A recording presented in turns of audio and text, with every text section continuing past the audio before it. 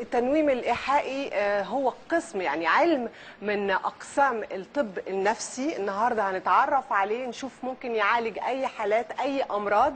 وعلشان نتكلم في الموضوع ده معانا الدكتور زهير أهلا وسهلا بحضرتك. أنت يعني معانا في البرنامج زهير وسهلا بحضرتك.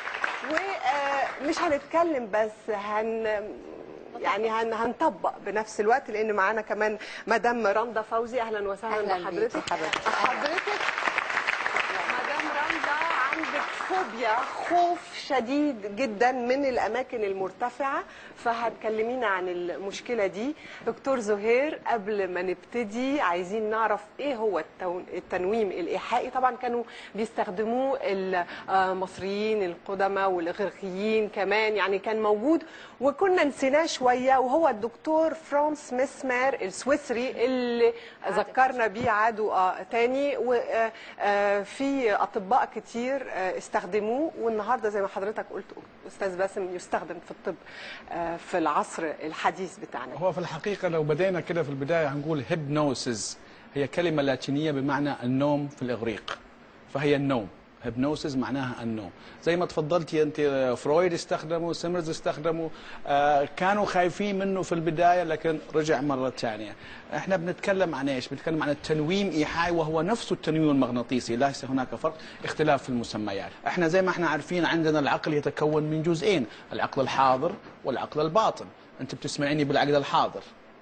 وبناخذ المعلومة بنسجلها فين؟ في العقل الباطن، إحنا لو اخذناها بالطريقة هذه عندنا العقلين، العقل الحاضر، العقل الباطن، إحنا بنقول عليه الواعي واللاواعي والشعور واللا شعور، الاثنين شغالين بالطريقة هذه في العقل، عشان جماعة الكمبيوتر الشباب هنا يفهمونا أكثر حنقول ال operating system نظام التشغيل وال hard disk القرص الصلب.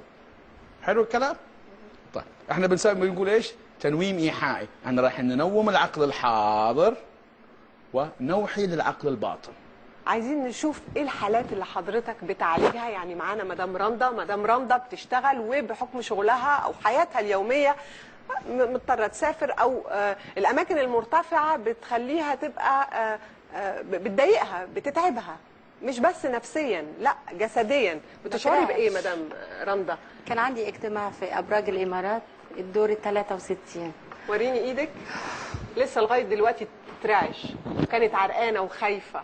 حرقتي. مرعوبة بتحسي وقبل؟ ما بدخل الأسانسير والله رجل قدام وورا خايفة بس بتحامى فيهم وأحاول أظهر نفسي إني أوكي بس ما قدرت يعني. صادفتك تقريبا أقدر أقول مواقف محرجة إيه، كثير بسبب كتير الحاله بس مضطرة مضطرة وفين وفين بقى عشان أرجع لحالتي الطبيعية وأعرف أتعامل يعني صعب صعب. يعني إذا إذا مثلا شركات بطوابق منخفضة مثلا الحل. ولا برضه الحل على بجري إيدك اليوم. بروح. إيه. بس دي إعاقة في حياتها اليومية يعني. نعم. هذا ما يسمى بالفوبيا من الارتفاعات. phobia of height بتحاول تعالجها إزاي؟ بتروح تكتشف في العقل الباطن هي ليه هي, الآن خايفة هي الآن اشتكت. هي الآن عندها ال complain بتاعها موجود. الحالة عندها في عندها الرغبة. بتقول لك أنا بخاف من كذا. أنا بعاق من كذا. فنشتغل على هذا. إزاي؟ أها إزاي؟ آه زي ما قلنا بطريقة التنويم الايحائي نستخدم نعمل relaxation إحنا عندنا ال relaxation الاسترخاء الاسترخاء الجسدي والاسترخاء الذهني. فأول حاجة أعملها أروح اعمل استرخاء جسدي بعد كده استرخاء ذهني بعد كده أتكلم مع العقل الباطن. القرص الصلب السجل ونغير المفهوم إيه هذا. بقى؟ آه عندك أنت مثلا ال- العقدة اللي بنسميها العقدة النفسية العقدة من من الزمن أنا أخاف من السباحة بس ما أعرف ليش. أخاف من إني اوقف أوقف أتكلم أمام الناس بس ما أعرف ليش مدام العقدة مدام رندا حضرتك عندك عقدة من منذ الطفولة يمكن إيه، إيه. حصل إيه يعني وأنا كان عندي تقريبا خمس سنين كنت مستحيل أدخل البلكونة لوحدي. اوعي تدخلي. البلكونة كانت على هيئة قناة السويس مباشرة. فإزاي أنا أقف في البلكونة وأبص على البحر؟ يمكن البلكونة توقعني. دايما يقولوا لي أوعي تدخلي. أجي لنص البلكونة وما بقدر أكمل لنهاية البلكونة نهائيا لحد الآن. ولادي بيقفوا عادي فما بحاولش أوصل لهم المشكلة بتاعتي. إنك حسيتي إن هم خوفوكي فانت آه ويقولوا لي ماما تعالي ما تخافيش. ما أقدرش مستحيل. طفلة عندها خمس سنين أهلها خايفين عليها يقول لها ما تقربيش ناحية البلكونة. ممكن تقعي. بس الخوف أنت ممكن كان تتخصص في أي مجال طبي يعني ليش رحت لل... هل هناك حاجة في المجتمع للتنويم الايحائي؟ تتذكر الطريقة القديمة في العلاج النفسي؟ كان الدكتور بيجلس والمريض بينام على الشيزلونج اللي هي النص كنبة هذه كده وبيجلس معاه بالست شهور وبيحاول يمسك طرف الخيط ويرجع. بتاخذ الموضوع ست شهور. في حاجة ثانية كانوا بيسموها بياخذ بيدي له إبرة يسموها ال abreaction اللي بتخليه مايل كده كأنه خارج من غرفة العمليات. تتخيل الكلام هذا؟ يمكن شفته في التلفزيون وتسمع عنه. العملية كانت تاخذ ست شهور وأكثر عشان توصل إلى الخيط وتعرف إيش هي العقدة وتفك العقدة. وافتحها فيما لو وصلت يعني. في لما ممكن كمان فيما لو وصلت. آه.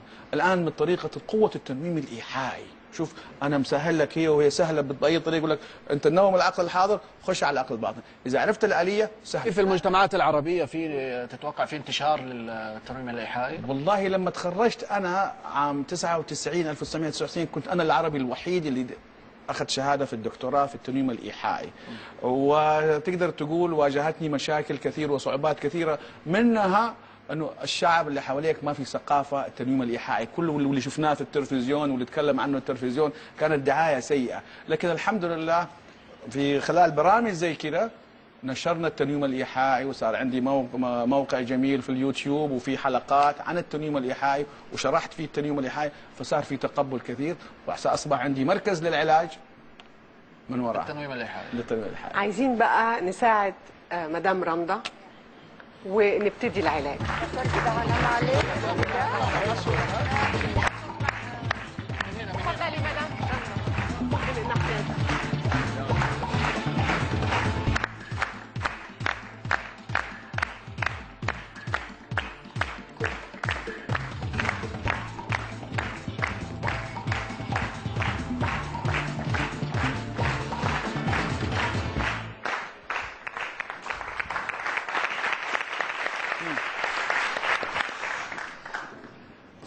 في البداية نحتاج إلى كرسي زي هذا عشان تأخذ راحتها ونعمل عملية الاسترخاء التام اللي قلنا عليها. فإذا ممكن تستلقي كده تريحي. رجلي أي ارفع رجلك عادي. جميل جدا جميل جدا. إذا سمحتوا لي شوية هدوء كده عشان نقدر إيش كمان هي إيش؟ تحس بالراحة وتسمعوني كويس كمان برضو شوية هدوء. الآن إحنا أنا بقول لها إيش؟ انها تسترخي تماما تماما أبغاها.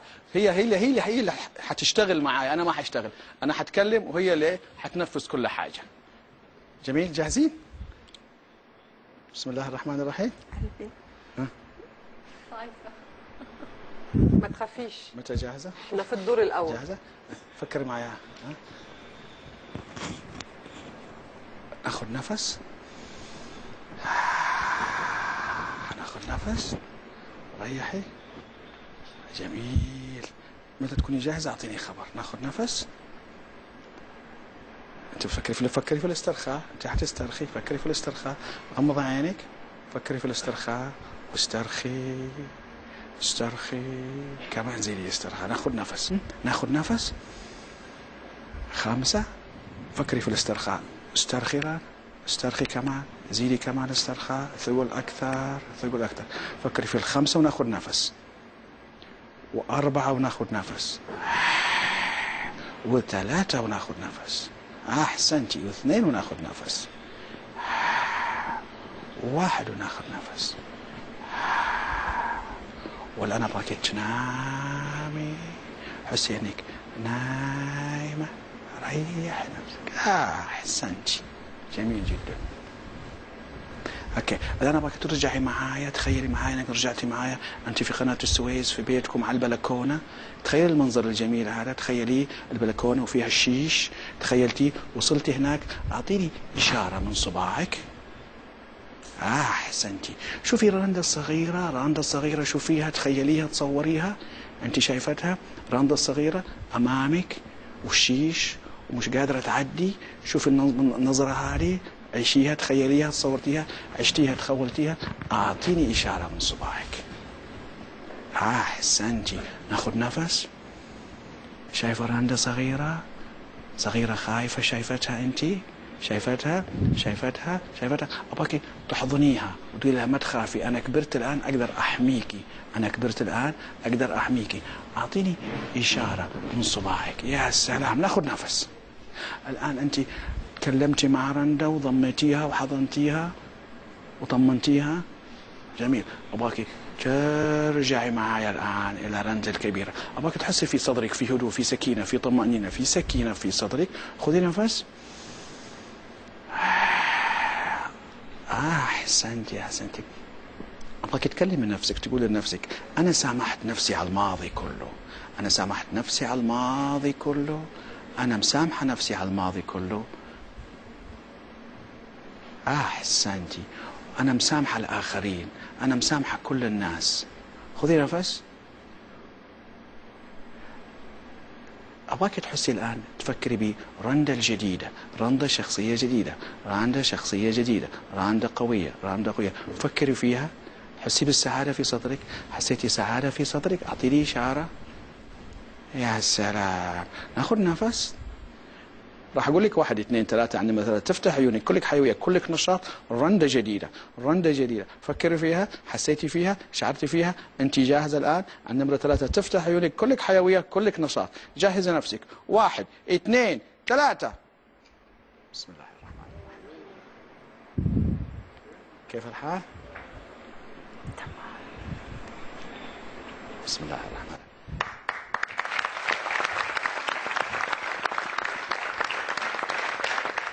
جاء دورك تتكلمي أنت. تقدري تجلسي أحسنتي. آه، تحبي توقفي جميل؟ لا بأس لا بأس. okay. شكرا. تسلم. أحكي لنا تجربتك. أوقفي أحكي لنا تجربتك إذا حبيتي. okay. آه، كيفك؟ اللي حصل كله. اللي حصل كله. إيه. تفضلي. ولا حسيت إن أنا بعالم يعني ما رحتلوش من قبل كده. يعني قريب من النوم بس في شوية من التحدي بينك وبين ال- العقدة النفسية القديمة دي. حاسة فعلا إن أنا فعلا رجعت صغيرة ودخلت البلكونة تاني بس الدكتور ما شاء الله عليه يعني بيدعمني أدخل البلكونة تاني مع إن دي كان صعبة بالنسبة لي وأنا صغيرة. بس حاسة إن أنا لو رحت دلوقتي ممكن أحاول إن أنا أدخل تاني. بس انت دلوقتي حاسة بإيه؟ ولا حاسة نفسي واثقة من نفسي أكتر من الأول. وكأنك نمتي شوية ولا؟ لا أنا رحت فيها يعني يعني في عالم حسيت زي بقى عارفه ما بتعملي diving ب- بتغطسي تحت المية. أيوه. ما بتسمعي شيء بتسمعي اللي انت حابة تسمعيه بس. حاسة إن أنا كنت كده فعلا.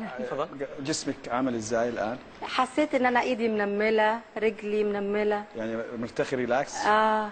okay النفسية كيف شكرا جزيلا okay. الحمد لله. مدام رندا. طبعا برافو لأن حضرتك حبيتي انك تعيشي آه، هي مغامرة بالنسبة لك فحاولتي ودخلتي معرفش لو كل الناس ممكن بالسهولة دي إنها تقبل إنها تعيش ال- التجربة دي بس برافو وإحنا طبعا هنتابع ونشوف وإن شاء الله يكون ولا تنسى الوصفة العلاج أيوة. بشكرك دكتور زهير. شكراً لكم، شكرا. ليكم. وطبعا هيبقى في مواضيع كتيرة أكيد كده. ما هو الآن لازم إنه يختار موضوع ثاني أستاذ باسم. خلونا اذا اذا. نختار موضوع ثاني فخلونا نختار شيء من موضوع جعنا لأنه اليوم. جعت لي على حالي جعت جوعة لا لا وياها وياها نختار موضوع له علاقة بالمطبخ. خلاص. معناته بنطلع فاصل وبنشوف بعد الفاصل شو مخبي لنا المطبخ.